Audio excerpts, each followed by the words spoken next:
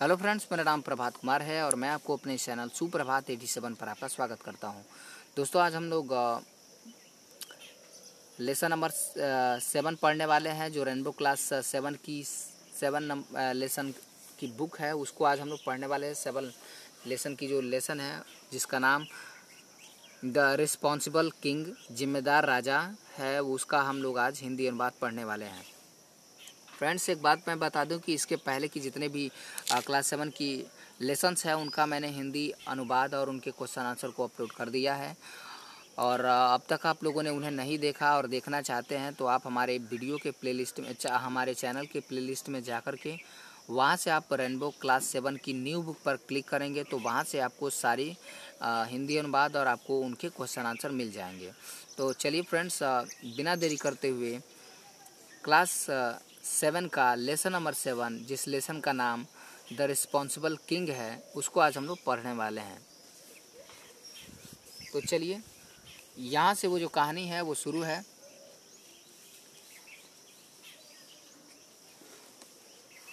देखिए once upon ए time एक समय की बात है, देयर वाज अ किंग एक राजा था who in who lived in a place on the bank of a river जो नदी के किनारे एक महल में रहता था, ठीक ना? प्लेस का मतलब होता है महल। तो एक बार की बात है, एक राजा नदी के किनारे एक महल में रहता था। ही वॉज़ अनहैप्पी वह वह खुश नहीं था बिकॉज़ क्योंकि the people of his kingdom क्योंकि उसके राज्य दरबार दरबार के लोग किंगडम का मतलब होता है राज्यपाट। ठीक ना? तो ये कहानी काफ़ी आसान है। तो देखिए फ्रेंड्स ये ऊपर मैं एक बार ब, मैं बता रहा था कि ऊपर की जितनी भी ये लाइनें हैं ये दो जो दो लाइनें हैं वो काफ़ी आसान है तो इसलिए मैंने इन्हें डिटेल में बताने की कोशिश नहीं की।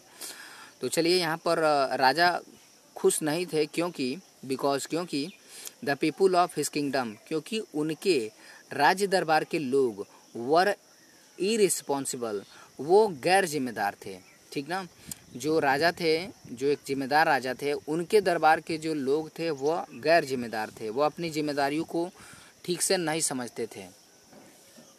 एवरी टाइम हर समय he went out his cart sorry chariot है। चैरियोट का मतलब होता है रथ। हर समय वह अपने रथ से बाहर जाया करते थे। He use to see stones and rubbish lying on the roads और वह देखते थे कि सड़क पर पत्थर और कबाड़, यहाँ पर देखिए, ये रबिश जो आपको दिखाई दे रहा है रबिश का मतलब होता है कूड़ा या कबाड़, ठीक ना? तो जब कभी भी वो अपने रथ से बाहर जाया करते थे तो वो देखते थे कि सड़कों पर पत्थर या कूड़ा या कबाड़ जो है लाइंग मतलब पड़ा हुआ था। अब देखिए एवरी टाइम हर समय he use slide to his boat वह अपने बोट से मतलब बोट का मतलब नाव से हर समय वह अपने नाव से भी घूमने जाया करते थे। यू फाउंड वह पाते थे द रिवर वॉज़ वेरी डटी कि नदी जो है बहुत ही गंदा था। जब कभी भी वो मतलब हर समय जब वो आ, नदी से नदी से होते हुए मतलब बोट पर बैठ करके जब वो नदी के रास्ते जाते थे तो वह देखते थे कि नदी भी बहुत गंदा था। अल्स इस प्रकार अल्स का यूज़ वहाँ पर किया जाता है जब कोई दुख हो। तो आ भरी दुख में वो क्या कह रहे हैं? वाई क्यों? Are my people so irresponsible ह्यूमैनेड वह जो है आह भरते हैं और कहते हैं कि, ओह, हमारे राज्य दरबार के लोग, हमारे यहाँ के लोग इतने गैर जिम्मेदार कैसे हो सकते हैं? Why do they not keep the roads clean वो सड़क को साफ़ सुथरा क्यों नहीं रख सकते हैं? ये थॉट उन्होंने सोचा for a while and said एक पल के लिए उन्होंने सोचा और कहा I must teach them a learn I I must teach them a lesson मुझे एक उन्हें जो है सीख सिखानी होगी, मुझे एक जो है उन्हें पाठ सिखाना होगा। ठीक ना? राजा जो है जब ये सारी बातों को देखते हैं तो वो कहते हैं कि मुझे अब अपने लोगों को एक पाठ सिखाना होगा, तभी जाकर वो शायद अपनी जिम्मेदारियों को समझ पाए। वन नाइट तो इसीलिए जो है, एक रात he took he took a bag of gold coin एक रात वह एक सोने की बैग लेकर के with him and went to the main road यहाँ पर देखिए, यहाँ से यहाँ तक मैं समझा दूँ, शायद आप लोग को समझने में असुविधा हो तो। तो वन नाइट एक रात he took a bag of gold coin with him with him का मतलब होता है वो अपने साथ, ठीक ना? तो वो अपने साथ एक रात सोने की सोने से भरे हुए बैग के सिक्कों को लेकर जाते हैं। देखिए, टुक का मतलब होता है लिए हुए बैग ऑफ़ गोल्ड का मतलब गोल्ड कॉइन्स का मतलब होता है सोने के सिक्के, ठीक ना? तो सोने के सिक्के का बैग अपने साथ लिए हुए ही वेंट वह जाते हैं to the main road main road पर, ठीक ना? हिज वज़ीर उनका जो वज़ीर था, वाज ऑल्सो विथ हिम वह भी उनके साथ था। ही सा उन्होंने देखा a pit in the middle of the road उन्होंने सड़क पर एक एक बड़ी सी गड्ढे को देखा। मिडिल का मतलब होता है बीच में या मध्य में तो सड़क के बीच में, मध्य में उन्होंने एक गड्ढे को देखा। He put the gold coin in it उन्होंने गोल्ड क्वाइन को मतलब सोने की सिक्के को जो है, इसके अंदर पुट कर दिया, रख दिया।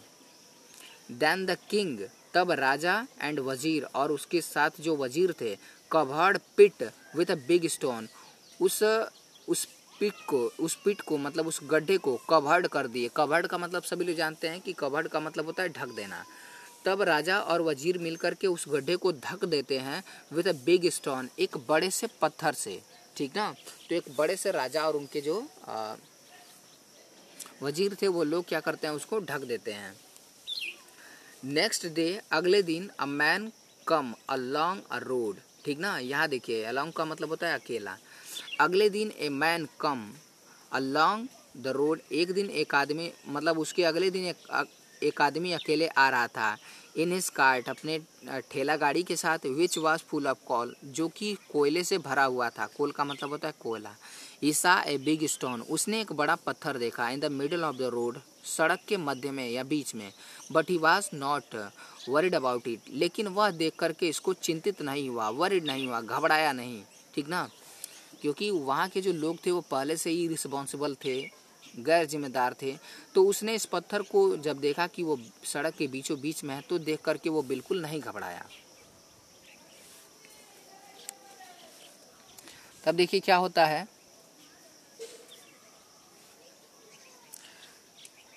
He drop his cart around the stone तब वह क्या करता है? अपनी कार्ट को अपने ठेला गाड़ी को टांगा को जो है आ, उस पत्थर के बगल की तरफ़ से ठीक ना?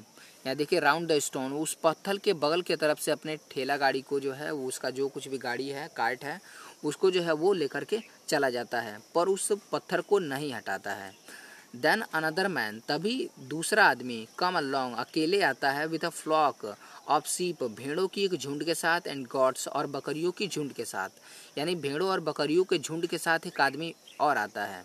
The man did not pay attention to it drop his flock around the around other side of the stone तो जो ये आदमी था, उसने भी जब इस पत्थर को देखा तो उसने भी इस पर कोई अटेंशन नहीं दिया, उसको हटाने के बारे में कोई बात नहीं सोचा अपने मन में और वो भी इसके बगल से ही अपने भेड़ों को, बकरियों को वहाँ से लेकर के चला गया। तो मैं फिर से बता दूँ, the man did not pay attention attention का मतलब ध्यान देना। तो उस आदमी ने इस पर ध्यान नहीं दिया टू इट इस पर ध्यान नहीं दिया and drop the and drop his flock around the other side और अपनी इस झुंड को मतलब भेड़ों और बकरियों की झुंड को उस other side of the stone पत्थर के दूसरे बगल से वह लेकर के चला गया। तो अब देखिए मेनी अदर पीपुल इसी तरह से बहुत अन्य सारे लोग also passed along the same road उसी सड़क से गुजरते हैं बट लेकिन ऑल ऑफ़ देम उन, उनमें से सभी लोग वर सो इरिस्पॉन्सिबल वो सभी के सभी लोग गैर जिम्मेदार थे। दैट जो they did not brought remove the stone जिन्होंने उस पत्थर को हटाने के बारे में सोचा तक नहीं। ध्यान तक नहीं दिया। तो देखिए यहाँ पर लाइन जो है और कहानी काफ़ी आपको चीज़ें बता कर बताना चाहती हैं कि उस सड़क पर जो है बहुत सारे लोग जब जाते हैं तो वो उसको हटाने के बारे में, उस पत्थर को हटाने के बारे में नहीं सोचते हैं और उससे साइड होकर के वो चले जाते हैं। फाइनली अंततः या अंत में द किंग हाँ तो हम लोगों ने पीछे पढ़ा कि finally the king called all the people of his kingdom अंत में राजा ने सभी, अंत में राजा ने कार्ड बुलाया। All the people of his kingdom अपने राज्य दरबार के सभी लोगों को राजा ने बुलाया एंड साइड और उनसे कहा, कम, आओ let us remove the stone चलो इस पत्थर को हटाते हैं फ्रॉम द रोड सड़क पर से. राजा ने कहा उन सभी लोगों से कि, चलो इस पत्थर को सड़क पर से हटाते हैं. People were stunned to see gold coins in the pit when it they rolled the stone way अब देखिए तो जब राजा ने कहा तो पीपुल वर स्टंड स्टंड का मतलब होता है, यहाँ पर आश्चर्य हो जाना या सॉक्ड हो जाना मतलब चकित हो जाना। लोग देख करके चकित हो गए। देखिए पीपुल वर स्टॉक्ड लोग चकित हो गए टू सी देख करके द गोल्ड क्वाइन सोने की सिक्के को इन द पिट उस गड्ढे में वेन दे रोल्ड रोल्ड का मतलब होता है पलट देना, द स्टोन वे। मतलब वहाँ से जब उस पत्थर को हटाया गया या पलट दिया गया तो वो जो लोग थे, उस राज्य दरबार के जो लोग थे, यह देख करके बहुत हैरान हो गए कि उस गड्ढे में से सोने की सिक्के को निकाला गया। ठीक ना? लुक, तब देखिए राजा कहते हैं कि, look, there were gold coins under the stone. राजा कहते हैं कि, देखो there were gold coins under the stone. इस पत्थर के नीचे सोने हैं इस सोने के सिक्के हैं बट लेकिन नो वन लेकिन कोई भी व्यक्ति bothered to remove the stone इस पत्थर को हटाने के बारे में सोचा तक नहीं। सो so, इसलिए नो वन कोई भी व्यक्ति डिजर्व दिस गोल्ड इस सोने को रखने के योग्य नहीं है ठीक ना? या इस इसको पाने के योग्य नहीं है। राजा उन्हें समझाते हुए कहते हैं कि देखो इस गड्ढे के नीचे सोना है सोने के सिक्के हैं और तुम में से किसी ने भी इस पत्थर को हटाने की कोशिश नहीं की है। इसलिए यहाँ पर देखो, सोने का सिक्का है और यह अब तुम में से किसी को नहीं दिया जाएगा। हैड यू बीन रिस्पॉन्सिबल यदि तुम जिम्मेदार होते रिमूव द स्टोन और इस पत्थर को हटाते the gold coin would have been your तब तुम्हारा, तब ये जो सोने के सिक्के हैं, वो तुम्हारे हो सकते थे या तुम्हारे हो जाते, ठीक ना? राजा कह रहे हैं कि यदि तुम लोग जिम्मेदार व्यक्ति होते तो तुम लोग इस पत्थर को हटाते हैं। और जब तुम लोग इस पत्थर को हटाते तो वह सोना का जो सिक्का है, वह सोने के जो सिक्के हैं, वो तुम लोग को मिल जाता और वो तुम्हारे हो जाते हैं। द किंग साइड राजा ने कहा हिज पीपल अपने लोगों से मतलब यही बात जो है, राजा ने अपने लोगों से कहा।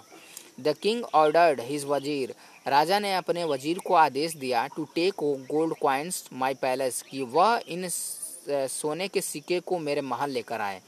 आफ्टर हियरिंग दिस मतलब इसको सुनने के बाद पीपुल फील सैम्ड लोगों ने शर्मिंदगी महसूस की एंड सो फॉर और इसके लिए जो है, अपने आप को जो है, काफ़ी अच्छा मैं महसूस किया कि काश हमने ऐसा किया होता तो आज हमारे पास सोने की जो है, सिक्के होती। हैं एंड प्रोमिस्ड और उन्होंने अपने आप से वादा किया to be a responsible citizen कि हम अब से एक जिम्मेदार नागरिक बनेंगे। हम जो है अपनी जिम्मेदारियों से पीछे नहीं हटेंगे, ठीक ना? तो इस तरह से जो है, राजा ने उन्हें एक सीख सिखाई, जिसकी वजह से वो जो लोग थे, उन्होंने अपने आप में शपथ लिया कि वह जो है, अब एक जिम्मेदार व्यक्ति बनेंगे। तो फ्रेंड्स, मैंने काफ़ी इसे डिटेल में समझाया है, और इसमें किसी भी तरह की कोई भी समस्या नहीं होगी। तो फ्रेंड्स, हम मिलते हैं इसके अगले वीडियो अगले लेसन में। वीडियो देखने के लिए आप सभी लोग का बहुत बहुत धन्यवाद।